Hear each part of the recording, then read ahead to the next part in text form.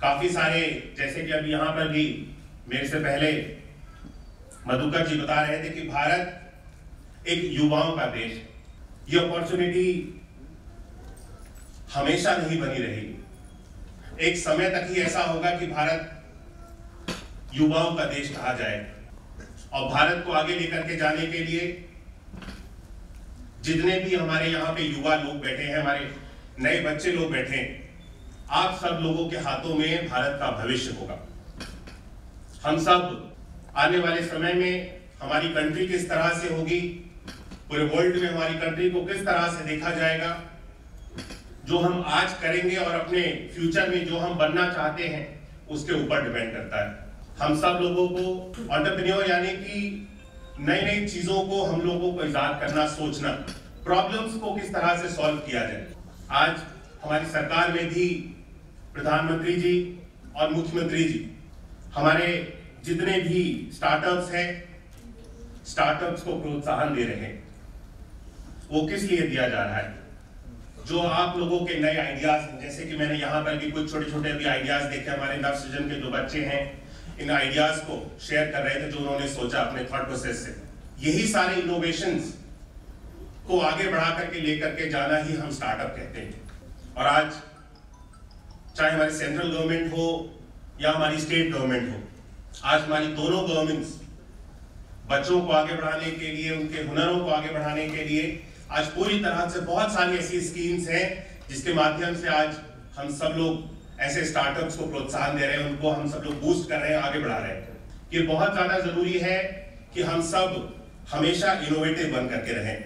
Innovation जब तक हम सोचते रहेंगे कि कुछ नया करना है, तभी संभव होगा कि हम सब लोग कुछ नया कर सके, नया कुछ कर गुजरने की हमारी जो इच्छा है, वो हमेशा जगी रहेगी आज जितने भी बड़े बड़े ऐसी कंपनियाँ हैं, कंपनी हैं, मैं अगर जोमेटो जोमेटो की बात करूँ पेटीएम की बात करूँ अमेजोन की बात करूँ, ऐसी बहुत सारी ये कंपनियाँ हैं जिन्होंने आप ही की तरह ऐसे एक छोटे से ऑन्टरप्रेन्योर्स के माध्यम से या फिर एक छोटे छोटे नए नए आइडियाज़ के माध्यम से अपने आप को स्टार्ट किया। और आज आप सब लोग जानते हैं ये कंपनीज़ ऐसी हैं जिनको वर्ल्ड वाइड मेरे ख्याल से आज सभी लोग जानते हैं अमेजोन जो कि एक छोटी सी कंपनी के रूप में स्टार्ट हुई थी और आज पूरे विश्व में इस कंपनी को जाना जाता है। हमारे भी यहाँ पे जितने यंग आइडियाज़ हैं यंग माइंड्स हैं, आप सब लोग भी इसी तरह से बन सकते हैं और पूरे विश्व में भारत की एक नई छवि बनाने के लिए आप सबका योगदान बहुत ही ज़्यादा महत्वपूर्ण है। आज हम सब लोग प्रयास कर रहे हैं कि एजुकेशन जो सबसे बड़ी चीज़ है, एक एजुकेशन वो टूल है जिसके माध्यम से हम पूरी दुनिया को बदल सकते हैं। और उसकी अगर किसी को क्रेडिट जाएगा तो हमारी इस नई जितनी भी हमारी जनरेशन है, जो आपके रूप में जनरेशन है, ये जनरेशन जब आगे जाकर के देश को अपना योगदान देगी, तब भारत एक नई विश्व शक्ति के रूप में आगे बन करके उभरे। यहाँ पे उपस्थित जितने भी हमारे बच्चे हैं, सभी लोगों को मैं उनके बेहतर भविष्य के लिए अपनी ओर से ढेर सारी शुभकामनाएँ देता हूँ। और अपनी बातों को खत्म करने से पहले मैं कुछ लाइनें बोल करके अपनी बातों को खत्म करूँगा।